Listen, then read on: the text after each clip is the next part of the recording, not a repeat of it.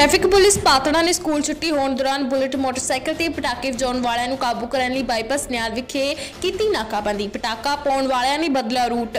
ਸ਼ਹਿਰ ਅਤੇ ਸਕੂਲਾਂ ਦੇ ਅੱਗੇ ਜਾ ਕੇ ਬੁਲਟ ਦੇ ਪਟਾਕੇ ਵਜਾਉਣ ਵਾਲਿਆਂ ਨੂੰ ਕਾਬੂ ਕਰਨ ਦੇ ਲਈ ਟ੍ਰੈਫਿਕ ਪੁਲਿਸ ਪਾਤੜਾ ਵੱਲੋਂ ਬਾਈਪਾਸ ਨਿਆਲ ਸੜਕ ਤੇ ਬੁਲਟ ਦੇ ਪਟਾਕੇ ਵਜਾਉਣ ਵਾਲਿਆਂ ਨੂੰ ਨੱਥ ਪਾਉਣ ਦੇ ਲਈ ਕੀਤੀ ਨਾਕਾਬੰਦੀ ਦੌਰਾਨ ਪਟਾਕੇ ਵਜਾਉਣ ਵਾਲਿਆਂ ਦੇ ਅਤੇ ਸਿਲੰਸਰ ਨੂੰ ਉਤਾਰ ਕੇ ਕਬਜ਼ੇ ਵਿੱਚ ਲਿਆਏ, ਉੱਥੇ ਹੀ ਚਲਾਨ ਵੀ ਕੱਟੇ ਗਏ।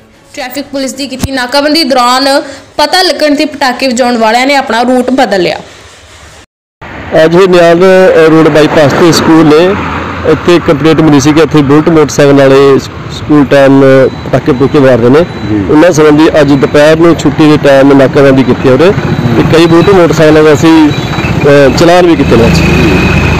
ਅਸੀਂ ਇਹਨਾਂ ਦੇ ਮਾਪਿਆਂ ਨੂੰ ਇਹ ਅਪੀਲ ਕਰਦੇ ਹਾਂ ਕਿ ਇਹੋ ਜਿਹੇ ਮੋਟਰਸਾਈਕਲ ਹੈ ਬੱਚਿਆਂ ਨੂੰ ਨਾ ਦਿਓ।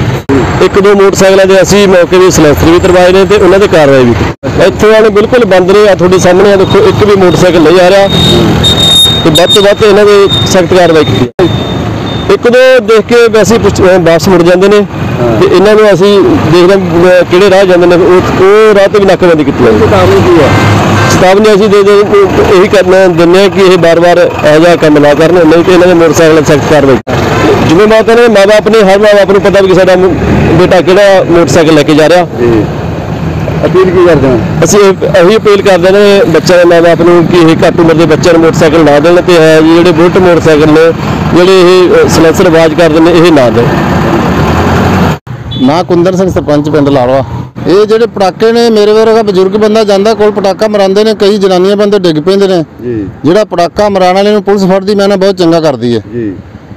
ਪਟਾਕੇ ਵਾਲੇ ਨੂੰ ਤੇ ਚਿੱਟੇ ਵਾਲੇ ਨੂੰ। ਜੀ। ਇਹ ਤੇ ਅਸੀਂ ਆਪ ਪੁਲਿਸ ਨੂੰ ਆ ਵੀ ਇਹਨੂੰ ਫੜੇ ਜ਼ਰੂਰ ਹੈ ਤੇ ਕਾਰਵਾਈ ਕਰਨੀ ਚਾਹੀਦੀ ਹੈ ਵੱਧ ਤੋਂ ਵੱਧ ਸਖਤ ਕਾਰਵਾਈ ਹੋਣੀ ਚਾਹੀਦੀ ਅੱਜ ਹੈ ਕਾਰਵਾਈ ਹੋ ਰਹੀ ਹੈ ਕਿਵੇਂ ਲੱਗਦਾ ਇਹਨੂੰ? ਬਹੁਤ ਵਧੀਆ ਲੱਗ ਰਿਹਾ ਜੀ। ਜੀ। ਬਹੁਤ ਵਧੀਆ ਕਾਰਵਾਈ ਇਹ ਹੋਣੀ ਚਾਹੀਦੀ ਹੈ ਇਹ ਕਿਉਂ ਮਾਰਦੇ ਨੇ? ਪਟਾਕੇ ਪਹਿਲੀ ਗੱਲ ਤੇ ਮਾਪਿਓ ਦਾ ਕਸੂਰ ਹੈ ਜਿਹੜੇ 15 15 ਸਾਲਾਂ ਦੇ ਮੁੰਡਿਆਂ ਨੂੰ ਬੁਲਟ ਲੈ ਕੇ ਦਿੱਤੇ ਨੇ। ਹਾਂ। ਬੁਲਟ ਕਮ ਤੇ ਕਮ 25 30 ਸਾਲ ਦਾ ਬੰਦਾ ਵੀ, ਉਹਨੂੰ ਬੁਲਟ ਤੇ ਬਹਿਣਾ ਚਾਹੀਦਾ। ਇਹ 15 16 16 ਸਾਲ ਦੇ ਮੁੰਡੇ ਜਿਹੜੇ ਨੇ ਬੁਲਟ ਚਲਾਈ ਫਿਰਦੇ। ਇਹ ਨੁਕਸਾਨ ਇਹ ਪਟਾਕਾ ਮਰਾ- ਮਰਾਉਂਦੇ ਨੇ।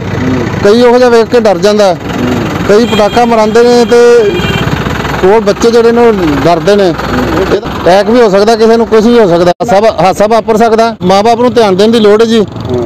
ਬਹੁਤ ਲੋੜ ਹੈ ਮਾਪੇ ਧਿਆਨ ਦੇਣ ਤੇ ਬਹੁਤ ਵਧੀਆ ਜੀ।